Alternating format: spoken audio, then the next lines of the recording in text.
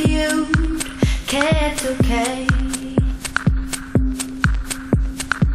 She had her stockings on and straightened up her hair. She did her lips with a tint of magnificence. And you were welcome, but did not know the circumstance.